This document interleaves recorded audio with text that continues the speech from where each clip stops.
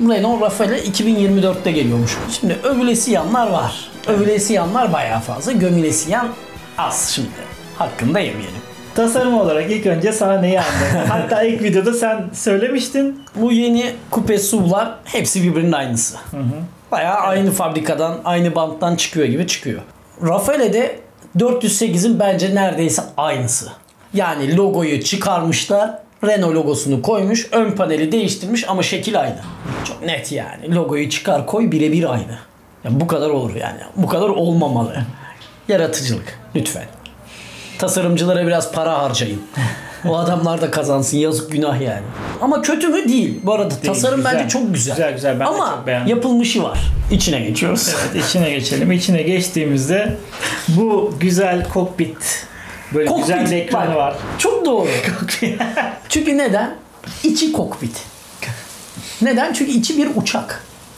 Çünkü adamlar ne yapmış? Ortaya, şimdi görüyorsunuz bu ortadaki kol evet. uçması için muhtemelen. Çünkü uçaklardaki o kalkış kolu gibi. Değil mi ya abi? Birebir aynısı yani. Benim burada tek düşündüğüm bu kol o işe yarıyor olabilir. Bence o ne işe yarıyor biliyor musun? Ne işe yarıyor? Abi 88 mile çıktığında onu çekiyorsun. Çektiğin zaman zamanda yolculuk yapıyorsun.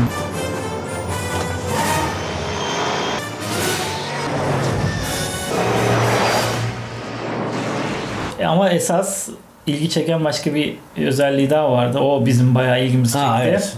Üstte cam tavan var. Cam tavanın özelliğini söyleyelim önce. Tek bir düğme ile parça parça kapanmaya başlıyor. Üstten Böylece ışık geçişi Geçişi engelleniyor. engelleniyor evet. Ama öyle evet parça parça Açılıyor. kapanıp açılması gerçekten Güzelmiş yani. Adam- Hoş. Adam yapmış şimdi. Evet, burada öv- Burada övüyoruz. övüyoruz. Net, Bu net. Gerçekten de Tamam. teknolojiyle birlikte Abartı ama bu övülesi bir şey. Ön panel bence Evet. çok güzel olmuş. bu Yani arada ekran 408 falan. ile karşılaştırırsak 408'de mesela o kadar geniş bir şey Değil. yok. Ekran yok mesela. Aynen öyle. Ekran ortadaki ekran dikey bir ekran var. Büyük bayağı. 408'de yatay daha küçük bir ekranı var. Artık Büyük. hani Tesla ile Ha, birlikte ben de tam onu diyecektim. Bayağı Tesla büyüklüğünde. evet gerçekten de kullanışlı. E, her şey oradan dönüyor. Evet Yani evet. Her şeyi kesinlikle. oradan yapıyorsun. Yani işinde öyle bir gerçeği var. E, güzelmiş tebrik ederiz. Allah kabul etsin. Sahibine, böyle- sahiplerine bağışlasın. Değil mi? Yani kaça gelecek, ne kadardır buraya, neye gelir, kaç Fark yıl etmez var? kaça gelirse gel Her çarpı şey- 3 yap geç. Değil mi? Yani net. Bir tane bize, iki tane, İki tane devletimize. devlete yazık günah.